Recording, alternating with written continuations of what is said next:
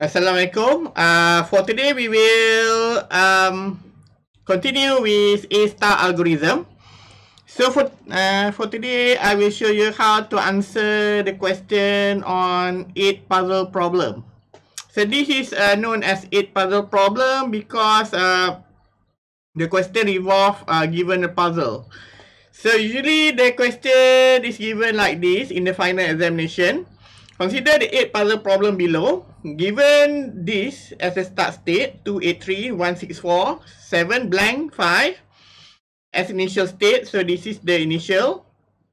And then this is given as the goal state, 1, 2, 3, 8 blank, 4, 7, 6, 5.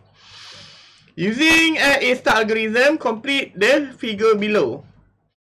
So the question require you to rearrange the puzzle from uh, from this okay from this into this so the puzzle look like this in real world so the real world puzzle dia macam ni lah yang blank tu sebenarnya blank okay the blank is actually is uh, an area without tile so you have to move the tile so you have to move it, the tile like you have to push it from uh, uh, from here to the blank area.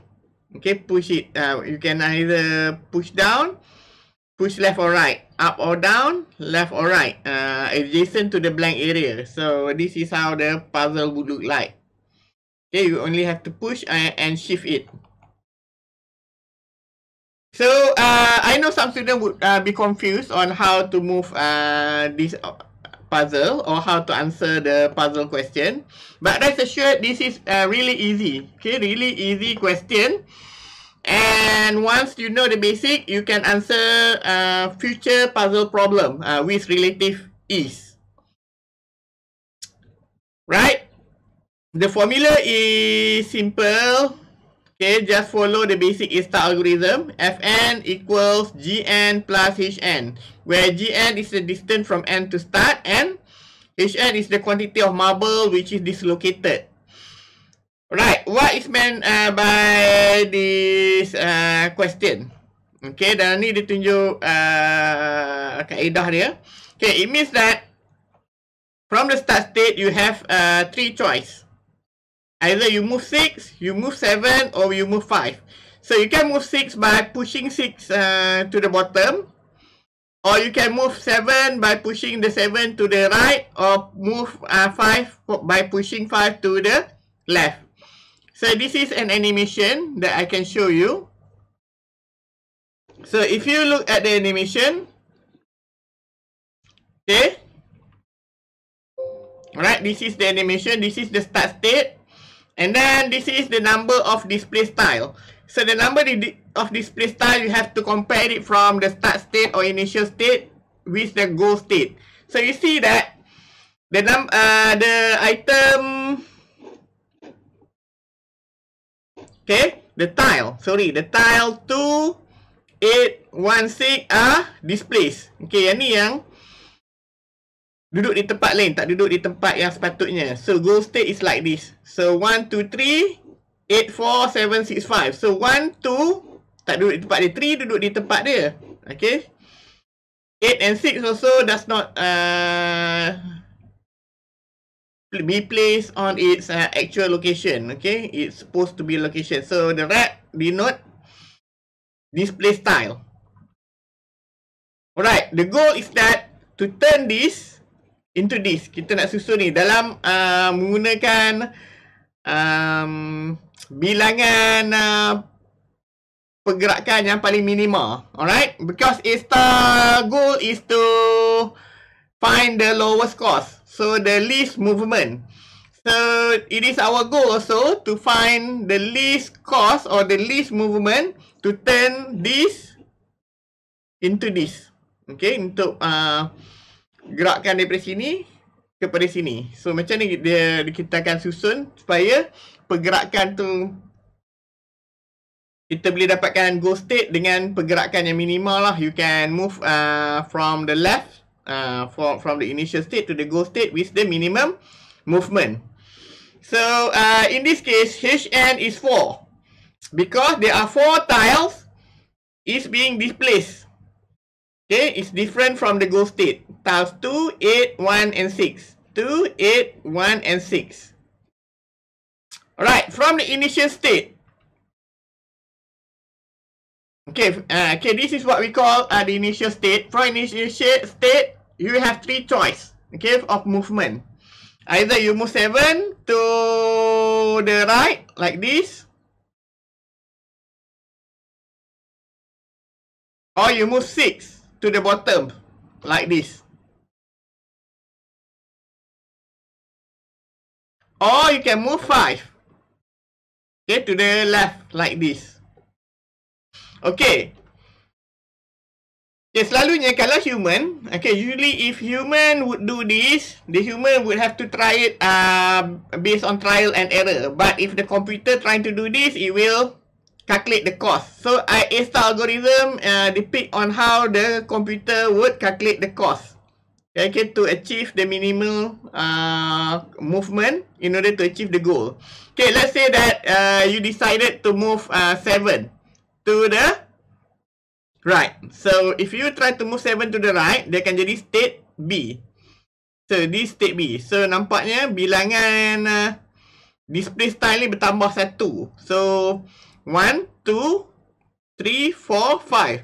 So 5 tile they are displayed when uh, you compare it with the goal. So goal macam ni. So if you open up your note, you see that the goal is like this. So you have to compare the display style, tile yang tak uh, disusun. So HN automatic become 5, FN automatic become 6. So when you total uh, the number, you will get that uh,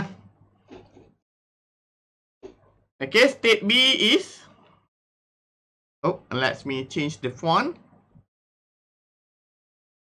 Okay, you will get that state B is uh, FB equal GB plus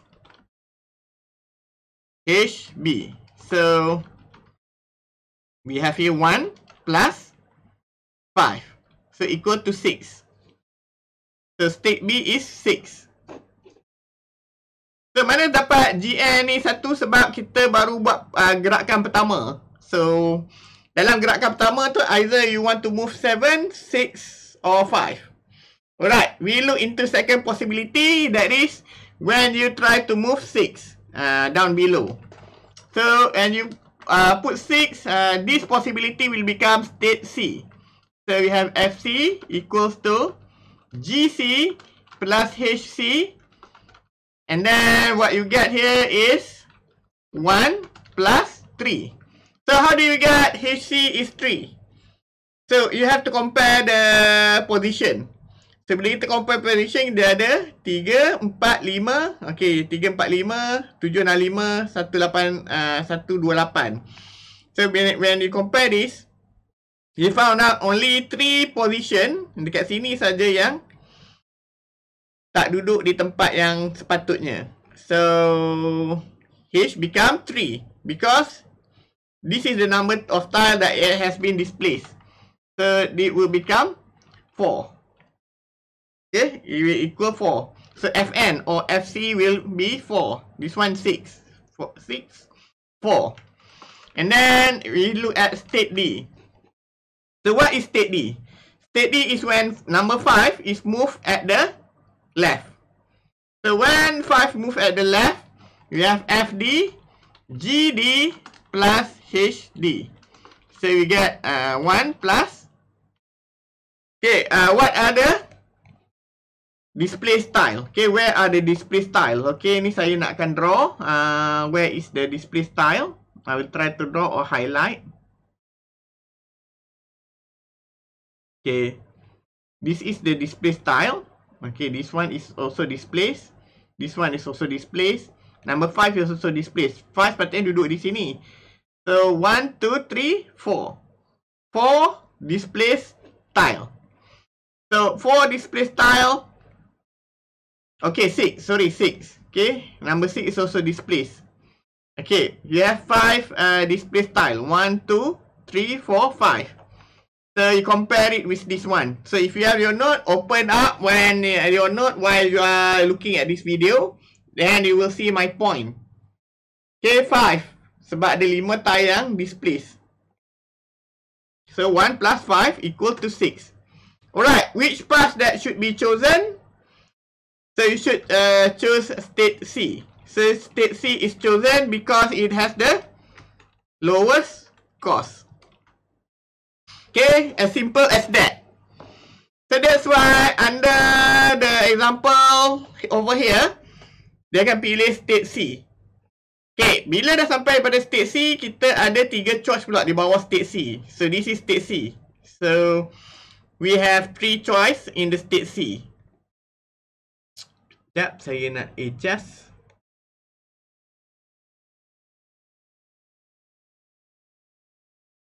Okay. You have three choice in state C. So either you move one like this or you move four like this or you move eight. Tapi kita takkan boleh pindah balik enam. Sebab apa? Bila kita pindah balik enam, dia akan jadi state A. Dia akan patah balik jadi state A. So, remember that we will never go back uh, to the previous state we can only move forward.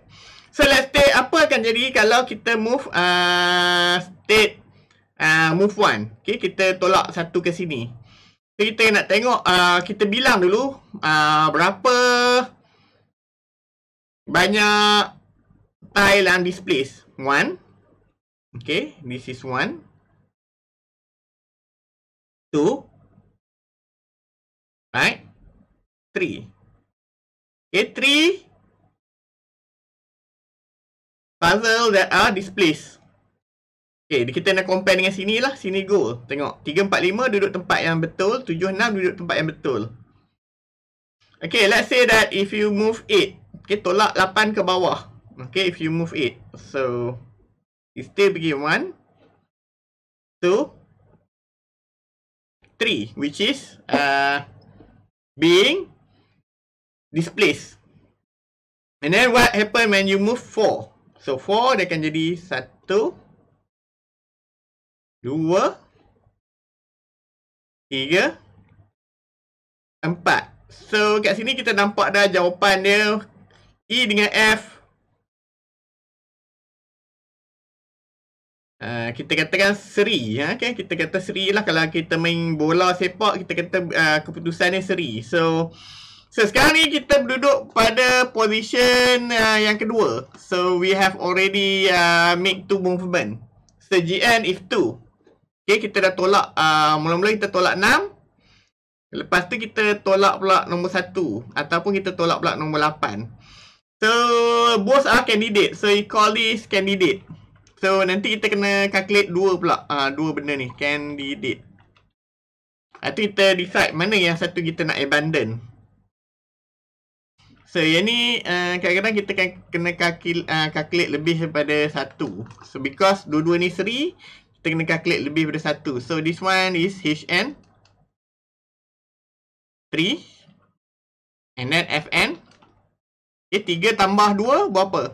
Okay, tiga ni tambah dua. FN maknanya tiga tambah dua. So, five. So, here we have S, uh, HN equals 3 Fn equals 3 plus 2. Okay, 2 plus 3. Ha, tak mau confuse. 2 plus 3. 2 plus 3. 5. And then this one state G. Hn is equal to 4.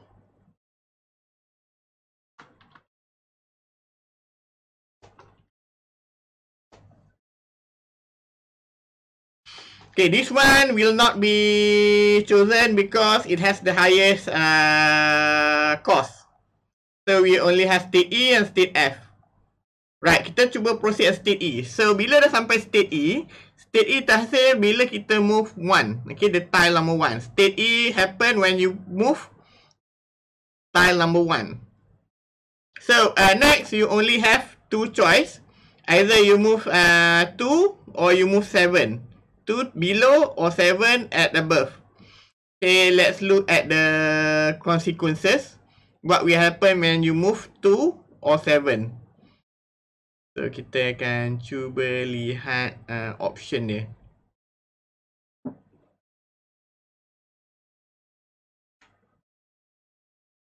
Okay, let's say when you uh, you move 2. Okay, kita bila kita pindahkan 2, apa berlaku bila kita tolak 2 ke bawah? When you push 2 at uh, uh, below.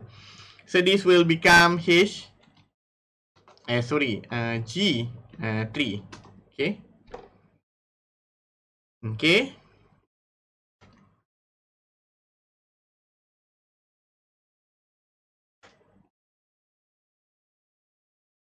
So Hn 3. So Fn will become 3 plus 3 equal to 6. Right, what will happen when you move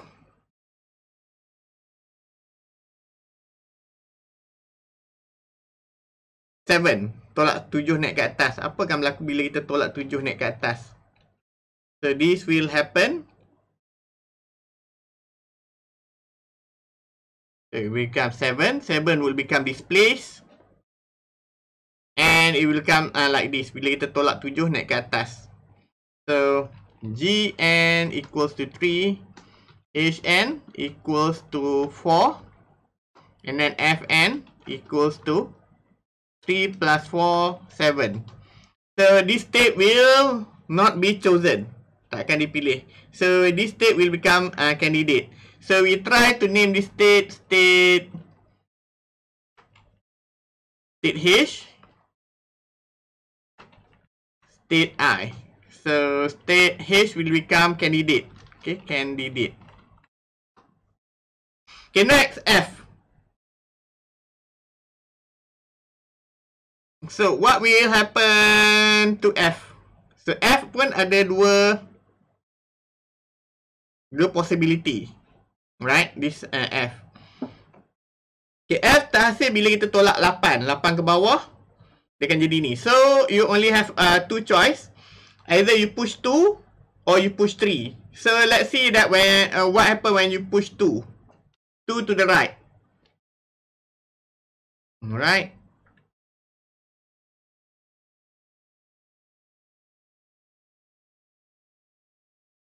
Okay, kita kena compare kat atas. Dua, oh nampaknya dua duduk di tempat yang sebenarnya. So, bila kita uh, dua di duduk di tempat di sebenarnya, dia maksudnya background dia jadi putih.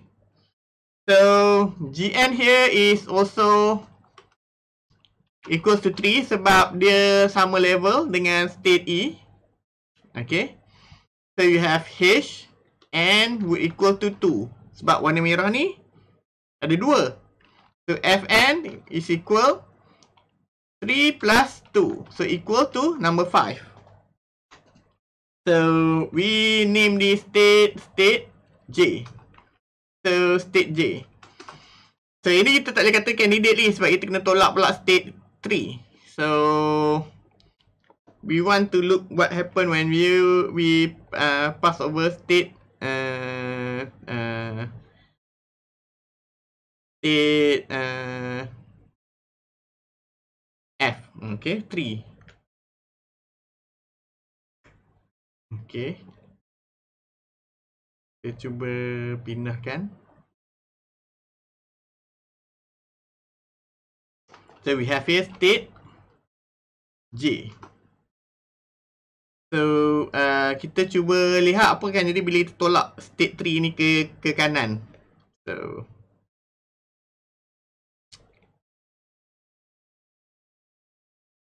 Right?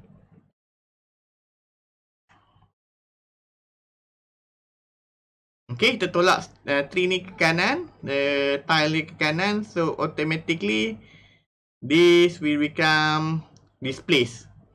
So, this is state K.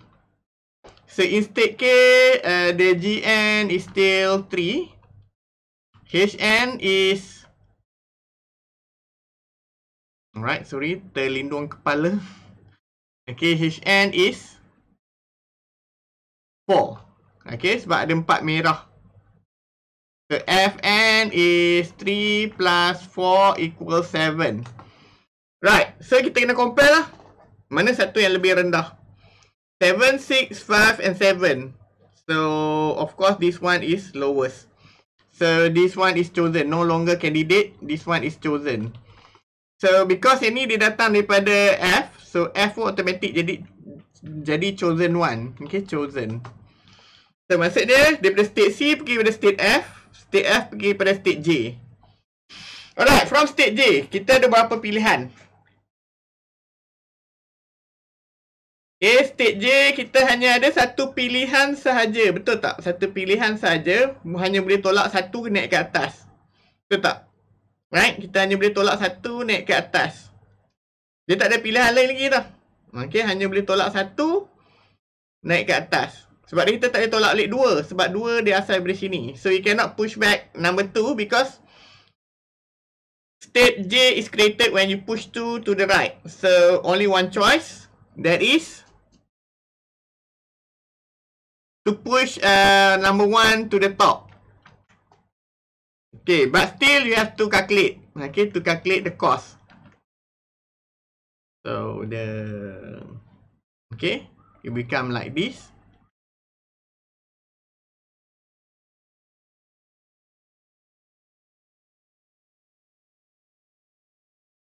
Okay.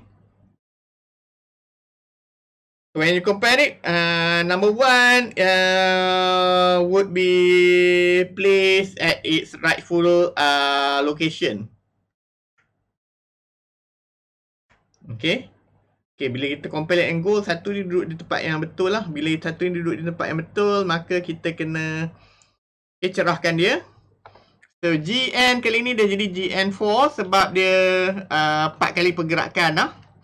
Hn uh, would be reduced. Hn 1. So Fn would become 4 plus 1 equals to 5. Sebab dia kita tak ada pilihan lain, maka kita turun ke bawah lagi. So this will become state L. Okay, state L. JKL. So this is automatically chosen. Alright, now in state L kita ada dua pilihan tolak 7 naik atas ataupun tolak 8 ke kiri. Okay, whether you push 7 above or 8 at the left.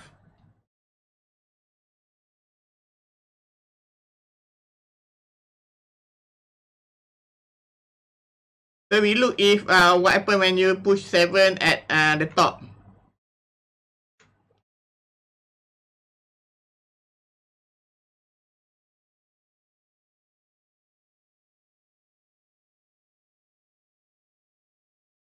Right? So this will become GN5. So HN will become uh, 2. So FN will become 5 plus 2. Oh. Okay, I've started. Oh.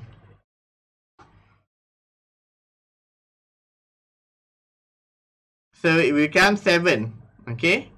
State M. And then next uh, we will have state N. So state N happen when you push it to the blank uh, location.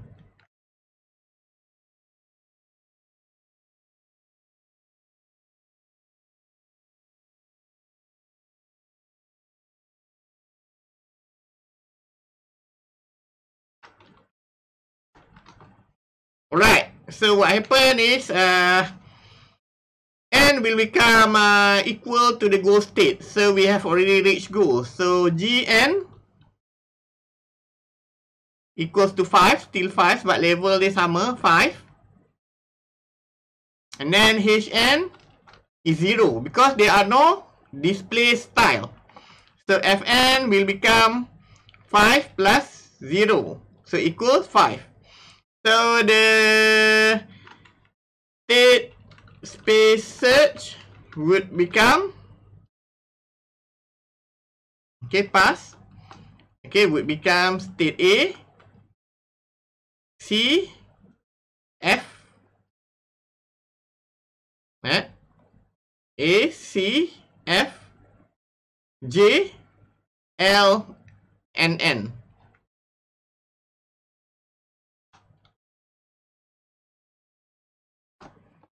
Okay. Jawapan dia macam ni lah. So, kalau macam state space ni nampak macam lain sikit daripada jawapan aku, uh, tak apa. Boleh uh, compare. So, you can compare it uh, uh, with the calculation. Kita tengok calculation. Kita sekarang ni tengok calculation saja. C chosen with F. F, we go to J because this is the shortest. And then L. L between M and N, you choose N. Okay, 5. So if you look at the answer, so Fn is always 5. Tengok, 5. 5. Yang mana yang terpilih itulah, dia akan jadi 5. So this one is chosen.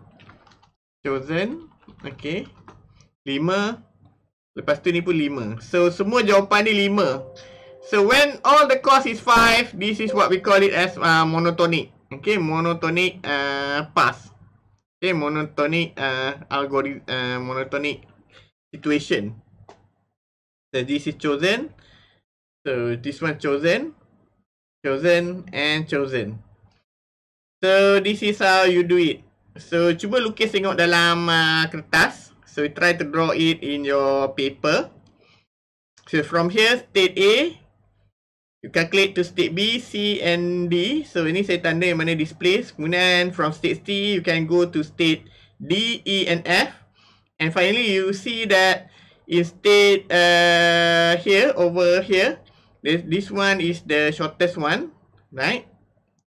C, D, uh, E, F and G. So kita tengok uh, state F yang sebenarnya yang paling uh, rendah cost dia so uh, yang ni sebab tu saya saling beli dalam ini state ni.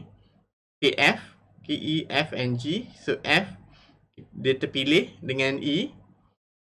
E pun rendah juga. Tapi uh, when you compare it both under the child we have a, uh, H and I and J and K. So dalam empat-empat ni J yang paling rendah kali nombor lima dia dapat uh, nilai dia kelima. So until then you get L and then M and N. So dia kan dapat ini yang paling rendah. So kalau kamu tak faham, okay, if you cannot understand, you can rewind back the video and then try to trace it by drawing. So case dia kamu kena draw sebenarnya. So you have to draw. So kalau tak draw, memang tak boleh dapat jawapan lah. Okay, you have to draw to find the shortest path. So A, C, F, J, L, and N.